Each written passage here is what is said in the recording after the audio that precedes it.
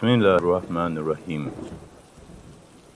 Kalplerin Keşfi, Mükeşafetü Kulub adlı eserde okumaya devam ediyoruz.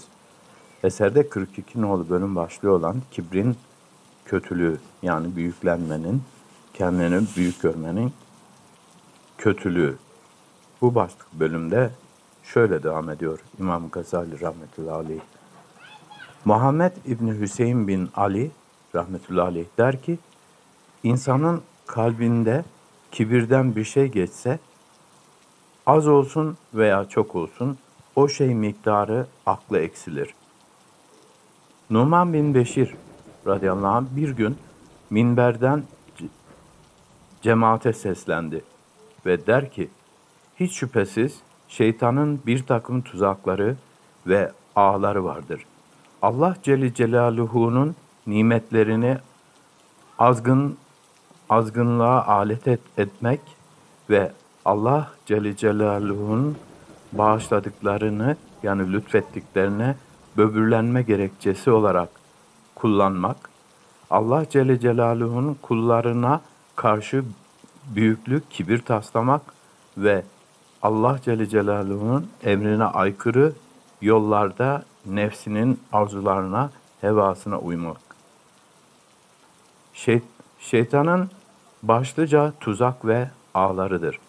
Allah Celle Celaluhu'nun bağış ve keremi sayesinde ondan af ve selamet dileriz.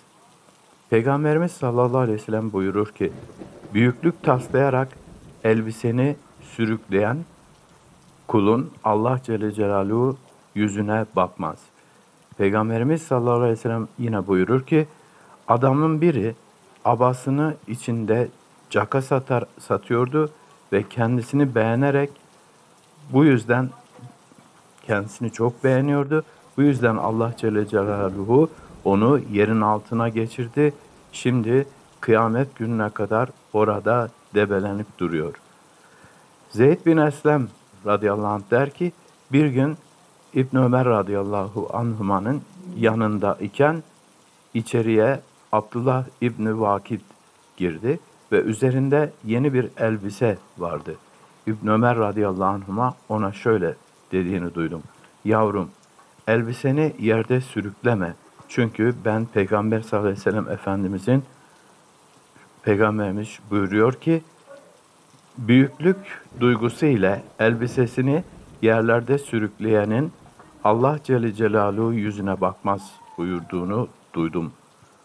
Rivayet edildiğine göre bir gün Peygamberimiz sallallahu aleyhi ve sellem avucuna tükürerek öbür elinin parmağını tükürdüğünün üzerine koyar ve şöyle buyurur.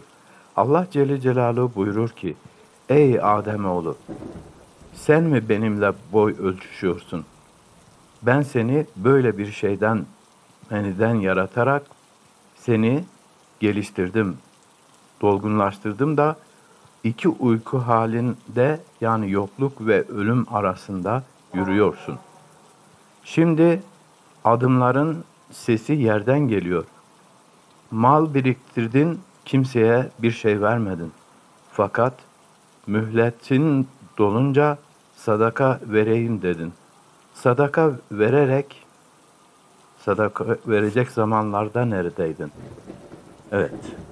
Böylece kibrin kötülüğü, büyüklenmenin, kendini büyük görmenin kötülüğünü başlıklı bölümlerde okumaya başka bir sohbette devam etmek üzere Allah'a emanet olun. Estağfirullah dinikum ve manetukum ve kavatime amelikum.